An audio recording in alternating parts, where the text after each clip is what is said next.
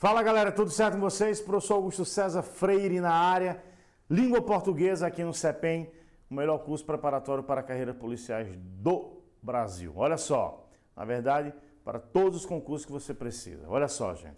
Vamos trabalhar agora com uma relação muito importante, um elemento morfológico, no entanto, esse elemento morfológico ele, ele precede outros elementos dentro do texto que é, na, que é, na verdade, os pronomes, que são, na verdade, os pronomes de tratamento.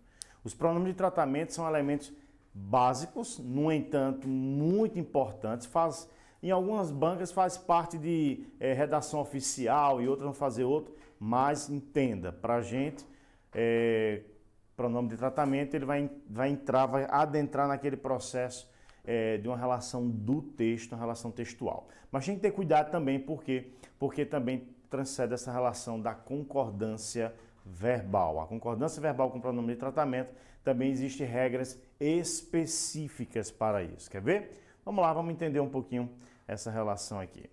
Vamos lá. O pronome de tratamento é aquele que serve para tratar, para chamar os infelizes, chamar as pessoas, não é? Então você vai chamar alguém, você vai chamar, quer chamar alguém, você vai lá, você, é, Senhor, Senhora, Vossa Senhoria, Vossa, Senhor, Vossa é, Excelência. Bem, na verdade, preste atenção. O pronome de tratamento ele é básico por uma questão. Você sempre vai utilizar o pronome de tratamento nas relações escritas. Então, no princípio, no processo da escrita, o pronome de tratamento ele é muito importante. Augusto, na oralidade? oralidade, obviamente, também. Só que na oralidade a gente tem que ter cuidado nos espaços formais que nós estamos, que nós compreendemos. Então vamos lá. Para o tratamento, os principais são você, Senhor, Senhora, Vossa Senhoria, Vossa Excelência, Vossa Santidade, Vossa Alteza, Vossa Majestade e Vossa Reverendíssima. São os chamados pronomes de tratamento. Atenção, usa-se. Aí no caso do pronome de tratamento a gente tem que ter cuidado. Por quê? Porque, por exemplo, Vossa Excelência, eles são para autoridades. E quais são as autoridades que vão ser que vão que vai ser chamadas, vão ser, vão ser por esse nome ou invocadas por esse nome? Vejam. Vossa Excelência, segundo o Manual de Redação da Presidência da República, é utilizado apenas para os chefes de poderes. O chefe do poder executivo, do poder judiciário e do poder legislativo. Ora, existe uma cultura no Brasil de chamarmos Vossa Excelência os demais membros destes mesmos poderes, os ministros, né, os ministros de Estado, os secretários de Estado, certo? os vereadores, os deputados, todos. Mas pela, pelo manual da redação da Presidência da República, apenas os chefes de poderes podem receber essa titulação.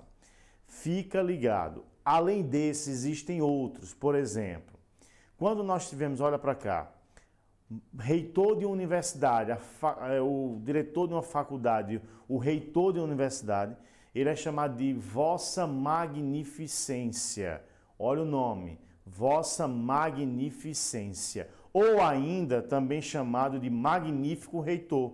O Magnífico Reitor é sim, esse é chamado também, nós chamamos disso aí um, um, o reitor de uma universidade, o diretor de uma universidade, tá certo? Então, olha só. Você, Senhor, Vossa Senhoria, Vossa Excelência, Vossa Santidade, a gente tem que ter cuidado com esses termos porque eles fazem parte lá do processo de chamamento de um pronome de tratamento, mas tem especificações para cada um. Olha só.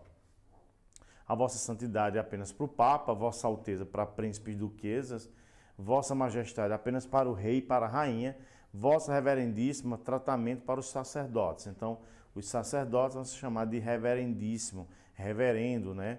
O Vossa Reverendíssima é o que nós colocamos lá no ofício circular, no ofício, é, é, principalmente no texto formal.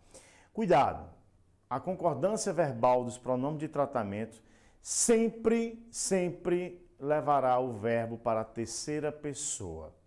Do singular ou do plural, Augusto? Aí depende do pronome de tratamento. Vossa Excelência quer, Vossas Excelências querem. Vossa Majestade deseja, Vossas Majestades desejam. Cuidado com o uso do Vossa Excelência.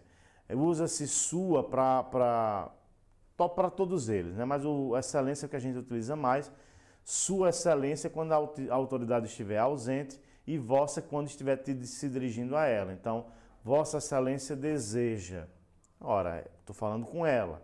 Agora, se eu estou falando dela, eu vou utilizar o sua. Sua, Excelência, Sua Majestade, Sua Santidade precisa falar com Fulano. Ou seja, nesse caso, eu não estou mais falando com, é, a, não estou mais falando com as pessoas com a pessoa do pronome, sim, estou falando para uma outra pessoa sobre as pessoas do pronome. Fica ligado nessa relação do pronome de tratamento. Tá certo, pessoal? Então é basicamente isso. Pronome de tratamento é um elemento muito tranquilo, só tem que ficar ligado. Preste atenção para Vossa Excelência, para os chefes de poderes. Augusto, polícia militar, os membros de uma polícia militar são chamados de Vossa Excelência? Não não devem ser chamados de Vossa Excelência. que é que eles vão ser chamados? Vão ser chamados pela patente que eles carregam. Senhor Coronel, Senhor Major, Senhor é, Tenente Coronel e assim vai, tá certo? É, são esses os elementos que nós devemos utilizar para os policiais, para aquela carreira militar, seja nas Forças Armadas ou nas Forças Auxiliares. E onde é que está isso? No caderno de manual, da, manual de redação da Presidência da República. Certo, galera? Fica a dica. Então fica conosco, porque conosco sempre haverá resultado. Valeu e nos segue aí nas redes sociais.